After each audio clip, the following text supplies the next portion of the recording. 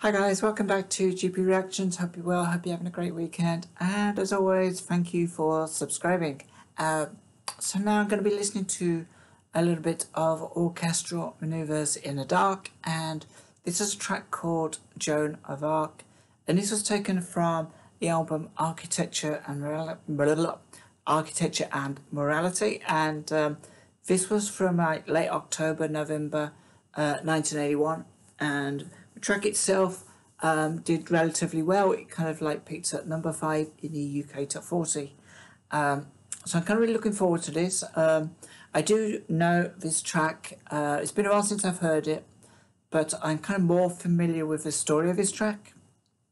And um, uh, essentially, kind of what happened was that um, I believe what happened was that Orchestral Manoeuvres had a, a demo for a track about the Joan of Arc um, and uh, and it was called uh, Maid of Orleans, um, and then they lost it, and so they had to kind of rewrite the track, uh, and they called it Joan of Arc. And if you kind of like uh, carry watch uh, uh, sort of Top of the Pops, or or if you watch my reactions, you'll see that in in this. So this is around about. If this would have been in the charts around about early December. Um, 1981 and just into 1982 they then found the um, original demo and they produced that. And that was what became Maid of Orleans which was released um, early in 1982 so um, I'm not sure what if this is a video um, I don't recall ever I, I know the sound of this song um, um, but I don't kind of recall ever a video or watching this on top of the pops. So this is going to be interesting. I hope I'm hoping if this is top of the pops performance, I'm really looking forward to it because I've never actually seen this um, performed.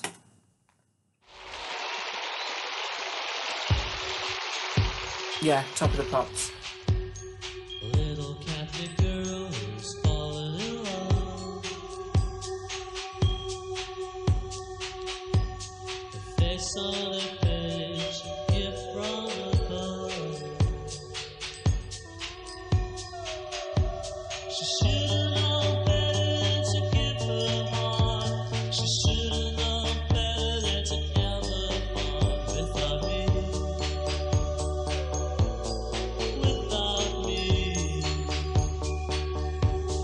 It's almost got a Christmas feel to it.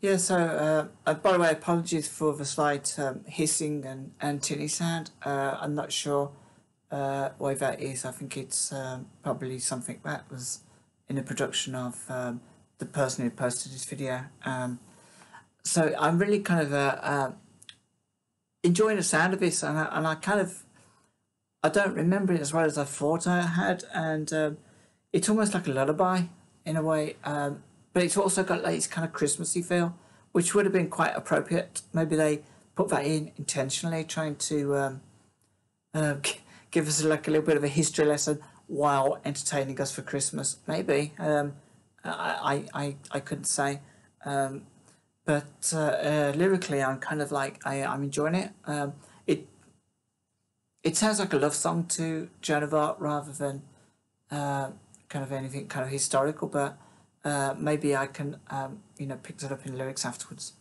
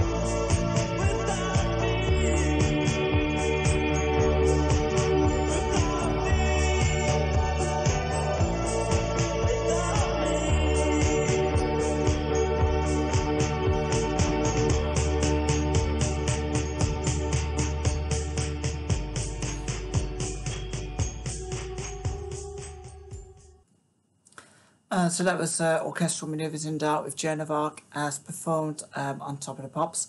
I think it was probably kind of like remastered or digitized or something. Um, so um, yeah, I mean, I, I, I, enjoyed I enjoyed this song, and I kind of never really realized um, what it felt like it was about. Uh, which it kind of feels like it's about somebody reading about an historical figure, and then um, kind of like putting a romantic kind of twist on it. Um, it's almost like they're saying, "My God, you know, if he was alive, I would have done everything I could to keep you with me and, and stuff like that."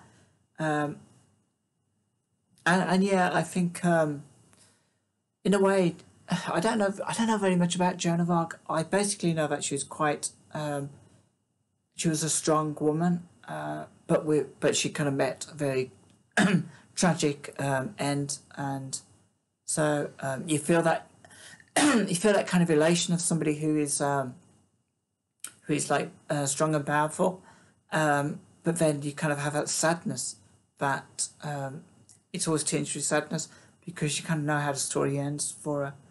Um, I just have a quick look at the uh, lyrics anyway to see if what I kind of think about this song is uh, it reads right. A little Catholic girl is falling in love, uh, a face on a page, a gift from above. She should have known better than to give her heart.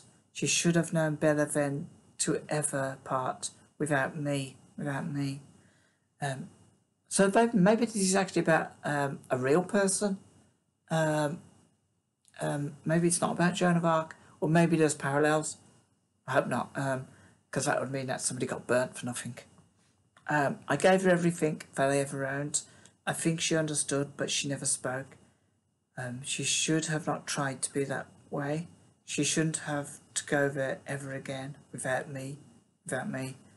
Now listen to us good and listen well. Listen to the song, everything we tell. We should have known better than to give her away. We should have known better to her this very day. We should have known better to this very day. And without me, listen, Joan of Arc, all you got to do, say the right words, and I'll be coming through.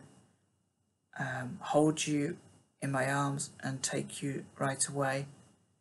Now, now she's on her way. Now she's on her, uh, her away to another land. We never understood why she gave her hand. She shouldn't, ought to promised, cause it's just pretend. I know she doesn't mean it, and she'll leave again. So I, I'm kind of thinking that um, this is either a song about um, uh, a a love that she had when she was alive, and um, the uh, I suppose the the sequence of events that perhaps led her to be away from this person that she loved and to kind of meet the tragic end that she did. Um, or it's kind of like got parallels with a, a, uh, a personal romance, um, which uh, maybe kind of um, followed a, a different path without the, obviously, the um, tragic uh, end um, and the execution. Um, yeah, very really interesting track, and I'm now kind of curious because uh, equally as I didn't fully remember this song, um, and it kind of seems uh, familiar to me now, but um, I'm kind of curious as to what they they would have had for Maid of Orleans when um, that when they brought that out in uh, in early 1982. Um, so I'm kind of curious to have a listen to that when it comes out and maybe react to it. Um, but uh, this song, for sure, it sounded like a lullaby. It sounded like a love song, and uh, and it had a real kind of um, Christmassy bell feel at the beginning, um, which I'm thinking was a kind of like poetic license to kind of, um, or maybe they're a musical license to um, uh, jazz us up a little bit for Christmas and uh, make us kind of think it's a Christmas song. Um, it didn't fool me, and I'm sure it didn't fool anyone else. Um, so, guys, let me know what you think about this track. Let me know what you think about Orchestral Manoeuvres in the Dark. Um, and um, yeah, please let me know. Join me in the comments below. Um, so, in all, as always, um, it's another one I kind of really, really enjoyed. Um, and you know what? Um, it's not very kind of often on my channel that I've actually um, encountered music that I haven't enjoyed. Um, I do have quite an eclectic taste, which helps. Um, so I, I, I don't kind of feel uh, tied to maybe one genre of music. Um, there's probably a lot of modern stuff right now that I probably wouldn't enjoy uh, if I'm honest. I like a good story. I like uh, good lyrics. Um, I like a good melody. Um, and yeah, and yeah, I like I quite like uh, a good video as well, something with nice visuals. Um, I think that kind of helps make up the entire package of that moment in history.